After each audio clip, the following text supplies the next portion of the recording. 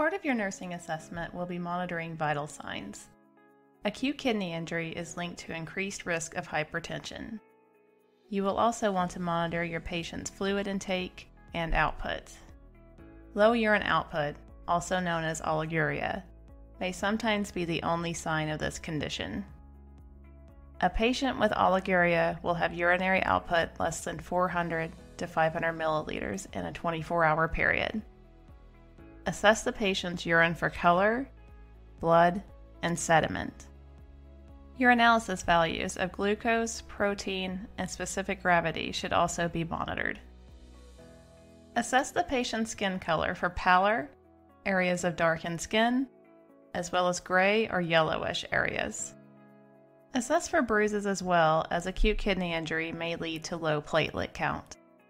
As fluids continue to build up in the body, edema and neck vein distension may manifest. Monitor the patient's level of consciousness and mental status as this condition causes generalized inflammation, which can ultimately result in altered mental status or loss of consciousness. Assess a patient's dialysis site for signs of infections such as erythema, edema, and exudate. Monitor the patient's lungs for crackles, rhonchi, or diminished breath sounds. Assess the patient's ECGs for dysrhythmias due to electrolyte imbalances, especially potassium. You should also auscultate for murmurs and irregular heartbeat. Some of the most important nursing interventions for acute kidney injury are prevention and early detection. These measures include limiting exposure to nephrotoxic medications, preventing lengthy periods of hypotension and hypovolemia, and identifying high risk patients. High risk individuals include those who are age 65 or over, have existing renal and chronic conditions such as chronic kidney disease, heart failure, or diabetes. Dehydration, sepsis, intensive diuretic therapy, and major surgery may also increase a patient's risk for acute kidney injury. If you are finding value in this video, then please hit the thumbs up and subscribe.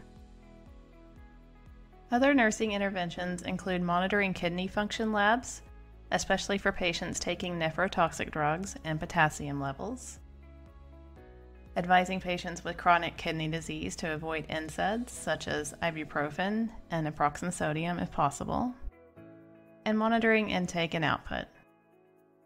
Also encourage a low sodium diet with limited high potassium foods. To identify excessive increases, hypervolemia, or losses, hypovolemia, of body fluid, weigh the patient every day at the same time. Foley catheter insertion may be ordered to more accurately monitor output. Signs of hypervolemia include edema, abdominal bloating, cramping, headache, hypertension, and shortness of breath. Hypovolemia signs include fatigue, weakness, thirst, dizziness, hypotension, tachycardia, headache, pallor, cool skin, confusion, and tachypnea. Ensure adequate oral hygiene as bacterial breakdown of urea produces ammonia that can inflame oral mucous membranes. Perform adequate skin care and practice prevention methods for pressure ulcers.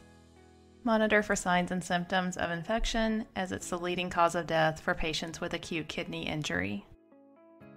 Thank you for watching and have a fantastic rest of the day.